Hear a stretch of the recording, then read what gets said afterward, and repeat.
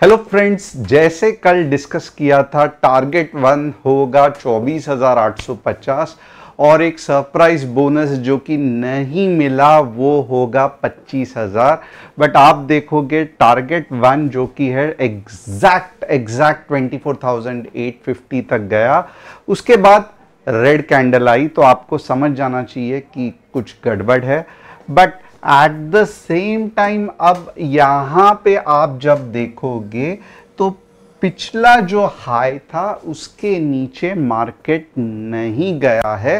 तो फिर भी मेरे हिसाब से मार्केट में अभी भी बुलिशनेस है। कल फ्राइडे है कुछ ज़बरदस्त धमाका हो सकता है, अभी भी चांसेस है। बट उससे पहले अगर आपने चैनल को सब्सक्राइब नहीं किया बेल बटन हिट नहीं किया डिस्क्रिप्शन में जो व्हाट्सअप कम्युनिटी की लिंक है, उसे क्लिक करके हमारे फैमिली के साथ नहीं जुड़े तो आप बहुत कुछ मिस कर रहे हो। तो सबसे पहले व्हाट्सअप कम्युनिटी के लिंक को क्लिक करना मत भूलना। अब यहाँ पे आके देखते हैं कि क्या चल रहा है यहाँ पे।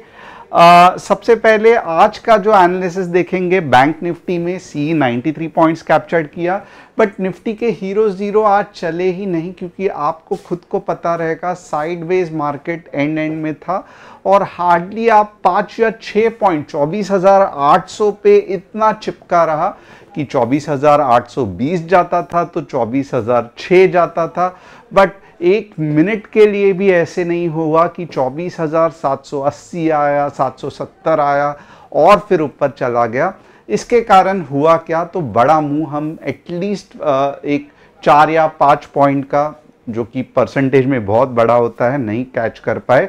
चलो देखते हैं टॉप न्यूज़ क्या है। Adani Group to looking to sell up to five percent stake in Adani Power and Ambuja Cements सोचा रहेगा, क्यों कर रहे हैं, पता नहीं। न्यूक्लियर सॉफ्टवेयर जो कल ऊपर चला गया था slump seven percent after IT firm announces rupee 72 crore share buyback अब शेयर बायबैक तो करना है, जो कि कल की न्यूज़ थी, इसलिए 20 टक्का ऊपर था बट बायबैक कर रहे हैं 72 करोड़, जो आज डिक्लेयर किया, इसके लिए नीचे गिरा। Dabur signs MoU with Tamil Nadu government to invest rupees 400 crore in first manufacturing चलो, अच्छी न्यूज़ है। अब एक चीज़ बहुत इंपॉर्टेंट है, हमारा कोई भी टेलीग्राम चैनल नहीं है, जहाँ पे हम पोर्टफोलियो हैंडलिंग या हम कोई भी यूएसडी क्रिप्टो प्रॉफिट शेयरिंग ये सब नहीं करते, सिर्फ़ एक कस्टमर सपोर्ट नंबर है nine one five two six one five one two one जहाँ पे हम बस और बस आपको वॉट जो कोर्सेज है, उसके मार्केट का एनालिसिस सिखाते हैं।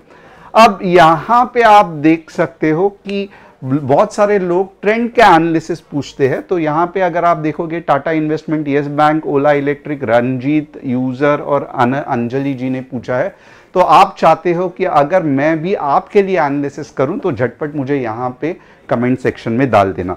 और चलते हैं हम निफ्टी के इंटरेस्टिंग सेशन में। कल, पहला तो हम डेली चार्ट देखेंगे कि क्या मार्केट कर सकता है।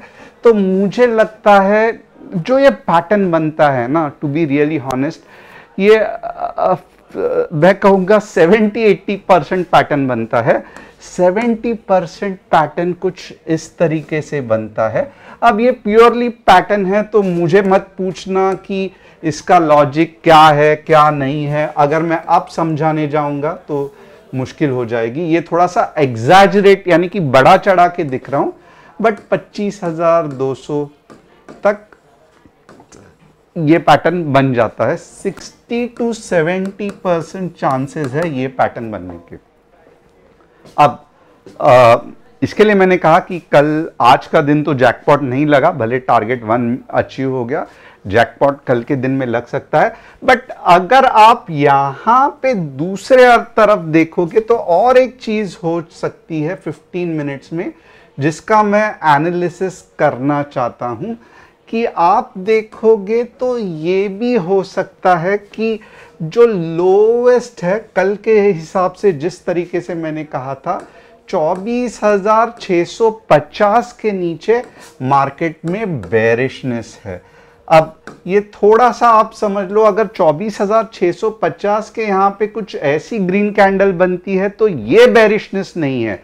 बट 24,650 के यहाँ पे कुछ ऐसी कैंडल बनती है तो ये डेफिनेटली बेरिशनेस है और ये आपको लेके जाएगा पच्चीस हज़ार सॉरी चौबीस हज़ार पाँच सौ के पास। तो होप आपको एनालिसिस समझ में आया रहेगा। अगर मार्केट समझो क्योंकि साइडवेज है तो नीचे जाके ऊपर आने के चांसेस बहुत ज़्यादा रहते हैं। तो 24,650 तक भी नीचे आया तो इतना ज़्यादा कंसर्न मत होना। ये थोड़ा सा मैं ओवरऑल व्यू बता रहा हूँ स्काल्पिंग के लिए नहीं बता रहा हूँ। और यहाँ पे दो चीज़ें, अगर ग्रीन कैंडल बनी, खुश होना, ऊपर जाएगा रेड कैंडल बनी, थोड़ा सा बेरिश व्यू मार्केट में बन रहा है, चौबीस हज़ार 500 तक या 550 तक जा सकता है।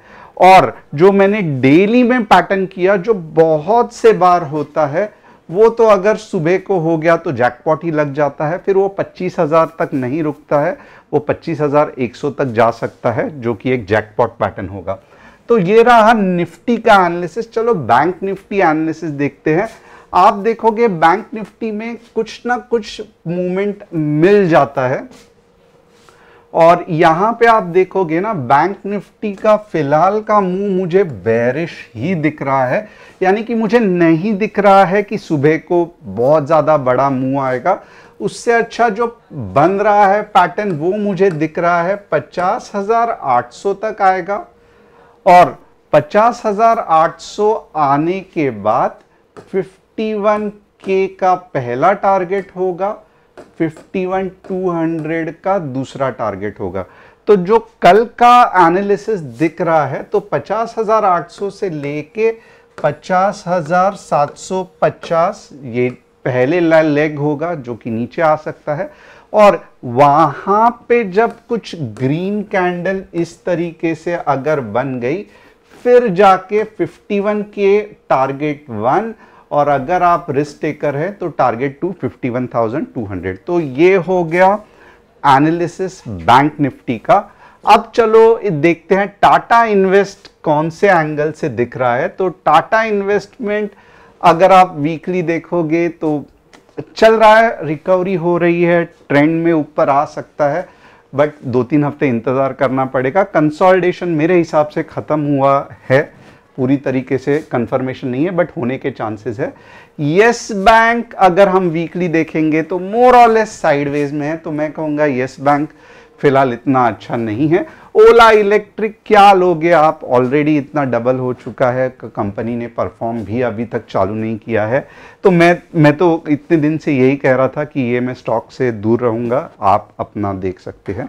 तो होप आपको एनालिसिस पसंद आया रहेगा। चैनल को सब्सक्राइब बेल बटन को हिट और डिस्क्रिप्शन में जो व्हाट्सएप कम्युनिटी की लिंक है, उसे क्लिक करके हमारे फैमिली के साथ जुड़ना मत भूलना। कल फ्राइडे है सेंसेक्स की एक्सपायरी रहेगी। बहुत ही एक्साइटिंग दिन हो सकता है। जैसे कल के लास्ट फ्राइडे था तो मिलते हैं कल।